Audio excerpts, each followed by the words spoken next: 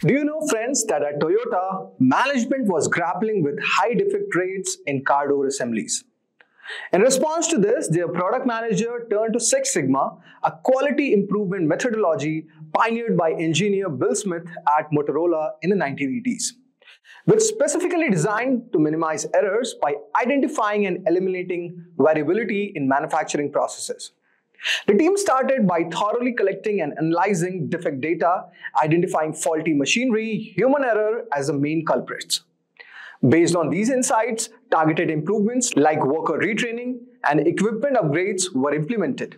These changes were initially tested in a controlled environment to ensure effectiveness. This methodological approach cut defect rates by 50% within a year and significantly boosting productivity and customer satisfaction. Companies seeking this remarkable result started adopting Six Sigma methodology and the demand for Six Sigma certified individuals increased significantly since the last decade. Typically, salary for Six Sigma certified individual ranges from 65,000 US dollars to over 100,000 US dollars annually, with variations based on role, industry, and geography. Six Sigma built professionals can earn in the higher end of this range, reflecting the value of their advanced expertise and ability to drive significant improvement in the complex processes. Craving a career upgrade? Subscribe, like, and comment below. Dive into the link in the description to fast track your ambitions. Whether you're making a switch or aiming higher, Simplilearn has your back.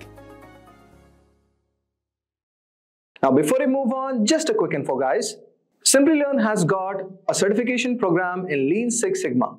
You can master efficiency and drive quality with Six Sigma methodologies. You can gain in-depth knowledge of Six Sigma methodologies, tools, and techniques. You can equip yourselves with the skills to lead process improvement projects effectively.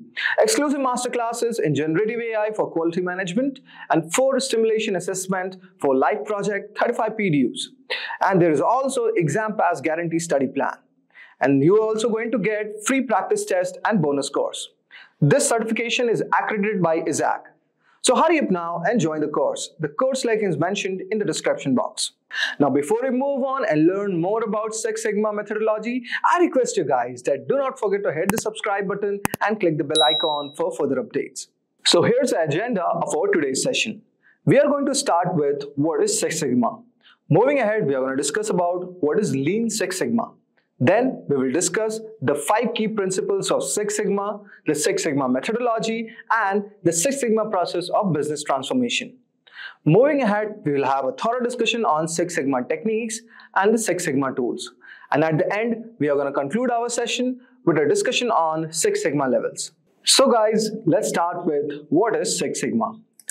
The term Six Sigma refers to a statistical measure of how a process deviates from perfection. A process that operates at Six Sigma has a failure rate of only 0.0034%, which means it produces virtually no defects. Six Sigma was developed by Motorola in 1980s and it has since been adopted by many other companies around the world. It includes like General Electric, Toyota and Amazon. It is used in industries such as manufacturing, healthcare, finance, and service industries to improve customer satisfaction, reduce cost, and increase profits.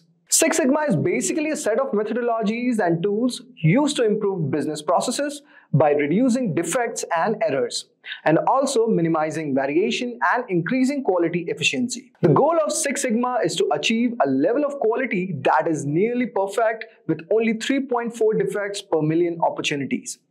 This is achieved by using a structured approach called DMAIC, which means define, measure, analyze, improve, and control to identify and eliminate causes of variation and improve processes. Six Sigma is a disciplined and data-driven approach widely used in project management to achieve process improvement and minimize defects. It provides a systematic frameworks to identify and eliminate variations that can impact the project performance. I hope so guys, you would have got a brief idea regarding what is Six Sigma. Now let us move on to our next part. That is, what is Lean Six Sigma? So guys, Lean Six Sigma is a methodology that combines two powerful improvement techniques that is Lean and Six Sigma. Lean focuses on minimizing waste and maximizing efficiency by identifying and eliminating non-value adding activities. This involves streamlining processes, reducing defects, improving quality, and optimizing resources to deliver more value with less effort. On the other hand, Six Sigma is a statistical approach to process improvement that aims to reduce variations and defects by using data-driven decision making. It involves like defining, measuring, analyzing, improving, and controlling processes to achieve consistent and predictable result. So guys, by combining the strength of these two methodologies, Lean Six Sigma provides a comprehensive approach to process improvement that can be applied to any industry or sector. This technique is widely used in manufacturing, healthcare, finance, and service industries to improve efficiency and reduce the cost and enhance the customer satisfaction. Now let us discuss about the five key principles of Six Sigma. Six Sigma has its foundations in five key principles. The first one that is, is focus on the customer. This is based on a popular belief that the customer is king. The primary goal is to bring maximum benefit to the customer. For this, a business need to understand its customer, their needs, and what drives their sales or loyalty. This requires establishing a standard quality as defined by what the customer or market demands. Measure the value stream and find your problem. So guys, map the steps in a given process to determine the areas of waste. Gather data to discover the specific problem area that is to be addressed or transformed. Have clearly defined goals for data collection, including defining the data to be collected, the reason for the data gathering, and insights to be expected. Ensuring the accuracy of measurements and establishing a standardized data collection system. The third one that we have is get rid of the junk. Once the problem is identified, make changes to the processes to eliminate variation, thus removing defects. Remove activities in the process that do not add to the customer value. If the value stream doesn't reveal where the problem lies, tools are used to help discover the outliers and problem areas. Streamline functions to achieve quality control and efficiency. The fourth one is keep the ball rolling. Involve all stakeholders, adopt a structured process where your team contributes and collaborates their varied expertise for problem solving. Six Sigma processes can have a great impact on an organization, so the team has to be proficient in the principle and methodologies used. And finally, we have ensuring a flexible and responsive ecosystem. The essence of Six Sigma is business transformation and change. When a faulty or inefficient process is removed, it calls for a change in the work practice and employees' approach. A robust culture of flexibility and responsiveness to changes in procedures can ensure streamlined project implementation. The people and departments involved should be able to adapt to change with ease. So to facilitate this, process should be designed for quick and seamless adoption. Ultimately, the company that has an eye fixed on the data examines the bottom line periodically and adjusts its processes where necessary and can gain a competitive edge. So these were some of the five key principles of Six Sigma. Now let's move on and discuss about the Six Sigma methodologies. The two main Six Sigma methodologies are DMAIC and DMADV. Each has its own set of recommended procedures to be implemented for business transformation. If we talk about DMAIC, it's a data-driven method used to improve existing products or services for better customer satisfaction. It is the acronym for the five phases like define, measure, and improve. The next one is DMADV. If I talk about DMADV, it is a part of design for the Six Sigma process, which is used to redesign different processes of product manufacturing or service delivery. Now let us understand each one of them one by one.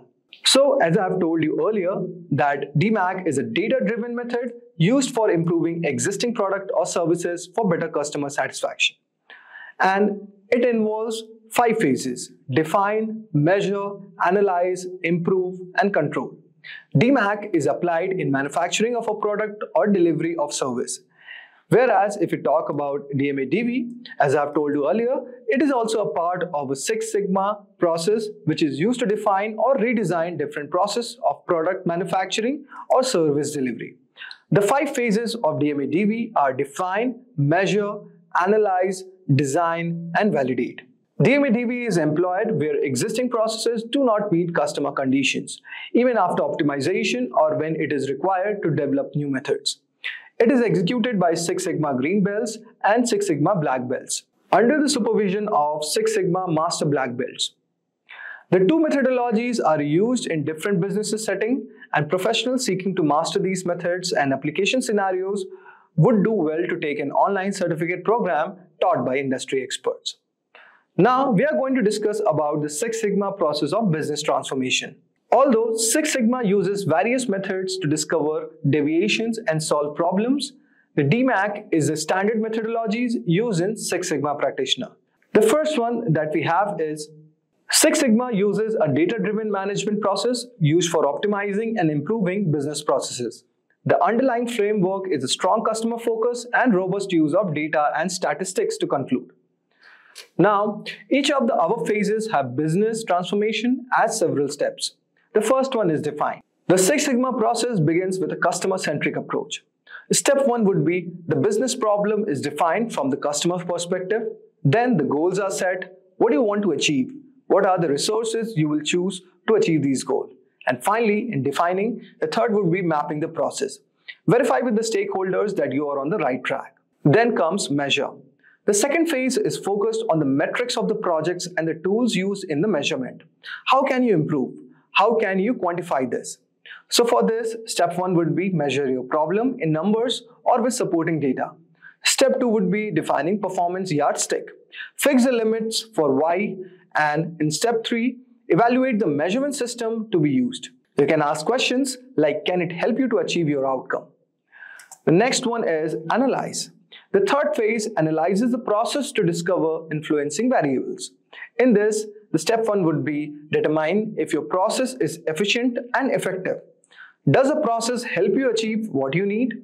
Then you move to quantifying your goals in numbers. For instance, reduce your defective goods by 20%. And finally, in step three, identify variations using historical data. The next phase is improve. This process investigates how the changes in X impacts Y. This phase is where you identify how you can improve the process implementation. For one, in step one, you have identify possible reasons. Test to identify which of the X variables identified in the process 3 influence Y. In step 2, discover relationships between the variables.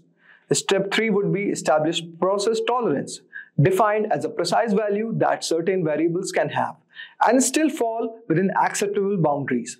For instance, the quality of any given product. Which boundaries needs X to hold Y within specifications? What operating conditions can impact the outcome? Process tolerances can be achieved by using tools like robust optimization and validation set. And finally, we have control. In this final phase, you determine the final performance objective identified in the previous phase is well implemented, that your design improvements are sustainable. For this, the step one would be validate the measurement system to be used. Establish process capability. Is a goal met? For instance, will the goal of reducing defective goods by 20% be achieved? Once the previous step is satisfied, implement the processes. So these were some of the Six Sigma process of business transformation. Now, we are going to understand about the Six Sigma techniques.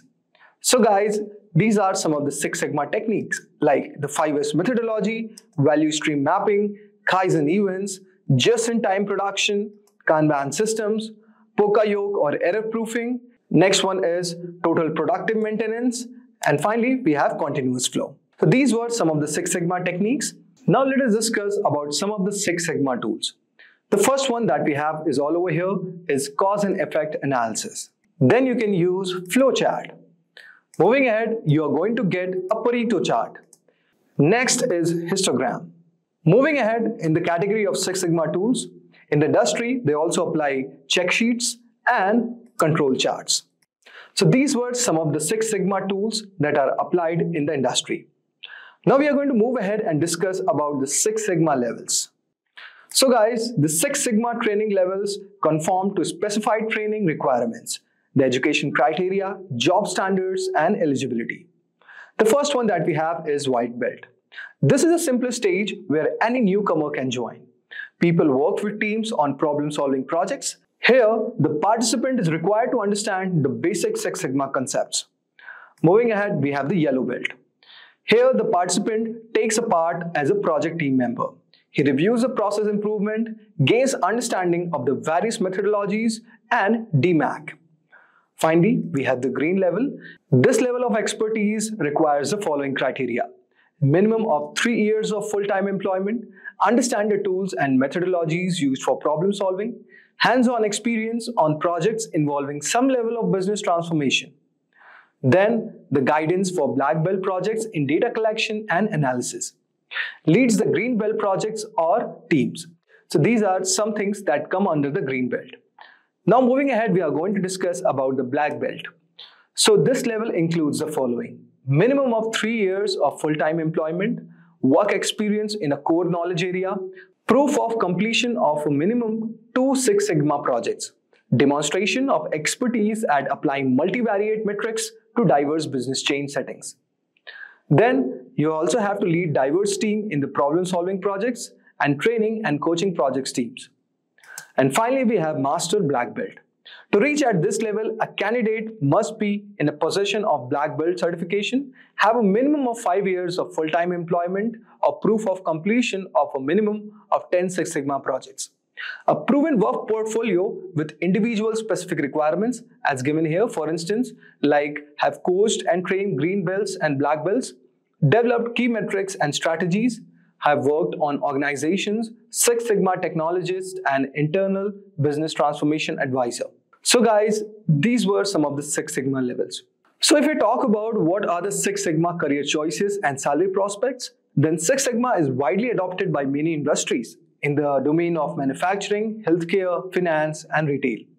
And it also offers a range of career opportunities with attractive salary prospects. So guys, this is a very amazing career choice and you can definitely go for Six Sigma certification. That was all for today's video guys. I hope so you would have enjoyed our today's video on Six Sigma methodology. Thank you guys for watching this video on Six Sigma methodology. I hope so you would have enjoyed our today's video. Staying ahead in your career requires continuous learning and upskilling. Whether you're a student aiming to learn today's top skills or a working professional looking to advance your career, we've got you covered. Explore our impressive catalog of certification programs in cutting edge domains, including data science, cloud computing, cybersecurity, AI, machine learning, or digital marketing.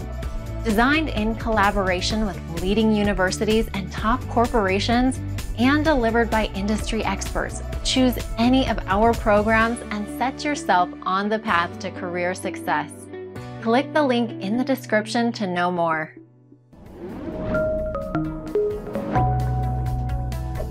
Hi there, if you like this video, subscribe to the Simplilearn YouTube channel and click here to watch similar videos. To nerd up and get certified, click here.